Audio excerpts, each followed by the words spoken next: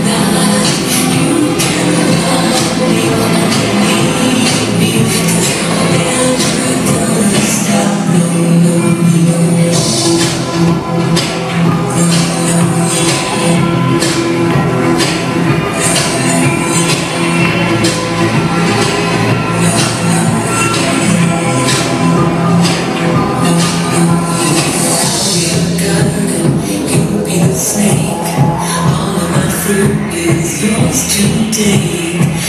And I'm down that you know.